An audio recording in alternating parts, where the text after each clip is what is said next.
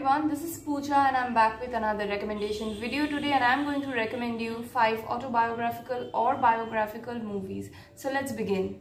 The first movie that I'm going to recommend you today is Sardar Udham. Sardar Udham 2021 এ release করেছে direct করেছে সুজিত সরকার আর এই সিনেমাটা যেই মানুষটির ওপর বেসড তার নাম হচ্ছে Udham Singh Sardar Udham Singh was the man who took the revenge of the Jallianwala Bagh massacre. He waited 21 years to kill the man who gave the orders for the massacre that happened, General Dyer. The story of this political revolutionary definitely brings out the fire in our hearts. So for me, number one is Sardar Udham and you should definitely watch it. The second recommendation in my list is Bohemian Rhapsody. Bohemian Rhapsody is based on the life of Freddie Mercury and it is directed by Bryan Singer. The actor who played Freddie Mercury is Rami Malek and uh, for his performance he even got the Academy Awards for Best Male Actor. So this movie dealt with different aspects of Freddie Mercury's life, be it his sexuality, his illness, his stardom, his successes, his failures and his ego and everything is covered in this movie and it has been done very passionately with certain historical inaccuracies of course but overall it was the, uh, in the list of the highest grossing movies of that year. So yes, the second recommendation is uh, Bohemian Rhapsody.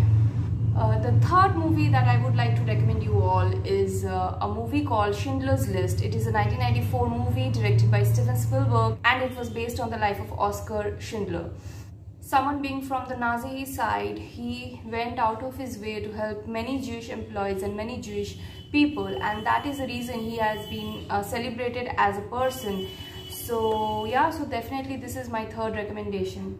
Fourth movie that i would like to recommend you guys is uh, the 2020 film called chhapaak. It is directed by meghna gulzar and all of you know that it is based on the life of laxmi agarwal. So uh, she is an example of how women has fought their uh, perpetrators and he has survived an acid attack on herself and how she led her life after that. So this movie is based on her life and this has to be in the list this time. So yes both is chhapaak last recommendation for today's list is manto manto is a 2018 movie directed by nandita das and it is based on the life of saadat hasan manto who was a pakistani author and writer. And he had his share of controversies and critics in his times and he also had his great contributions in the literary domain as well.